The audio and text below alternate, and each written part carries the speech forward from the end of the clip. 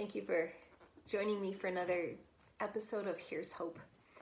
Earlier this week, I woke up in the morning with the thought to read Psalm 121. And I know this psalm, I'm quite familiar with it. The very first verse is my grandparents' wedding verse. I have a plaque with that that was a wedding gift given to them and it's mine now. It hangs in my office and just reminds me of the heritage I have with them. And in the traditional King James that I learned it in as a child, it says, um, I look up to the hills, from where does my help come?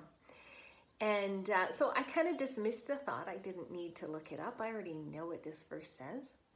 But I'm so glad I paid attention to it because I felt like the Lord had some things to really say to me that are quite current uh, in a fresh way. And so I looked it up that morning later on in the Passion Translation because a fresh voice can help me see things in a new way. And I'm just going to share some of the thoughts I had uh, reading that that morning. So in the Passion Translation, it says, I look up to the mountains and hills longing for God's help. But then I realize our true help and protection come only from the Lord. I wonder what sort of mountains you've been looking to these days for a sense of security and hope, some sort of reassurance about what's coming, what is to come, some sort of directive that gives you a confidence of what the future is going to look like.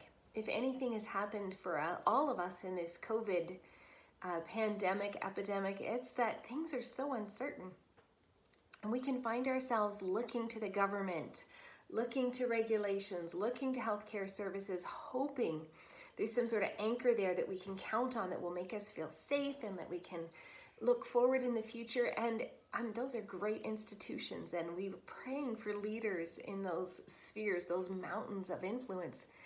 And yet, the best they have to offer is nothing like the anchor that God has for our souls. Our true help and protection come only from the Lord. Yes, He can use those things, but even when they fail us, God will never fail us. It says he's the creator, the Lord of the heavens and the earth. He will guide and guard me, never letting me stumble or fall. God is my keeper. He will never forget or ignore me. When I read that, I felt like this blanket kind of came over me of just comfort. He will not forget you. He will not ignore you. He senses your uncertainty at this time. He knows your longing for uh, stability and reassurance and calm and he wants you to find it in him. He wants you to know he's he's not abandoned you. Even though things around you are uncertain he is certain. It says in verse 4 he will never slumber or sleep for he is the god guardian god for his people. He's always on duty. He's never not looking or not paying attention. It says in verse 5 jehovah himself will watch over you. He's always at your side to shelter you safely in His presence. So, right now, where you are, think about it. And then even say it with me in a first person. Jehovah Himself is watching over me. He's always at my side to shelter me safely in His presence. He's here right now beside you, sheltering you. He's guarding you. He's watching over you says he's protecting you from all danger both day and night. He will keep you from every form of evil or calamity as he continually watches over you.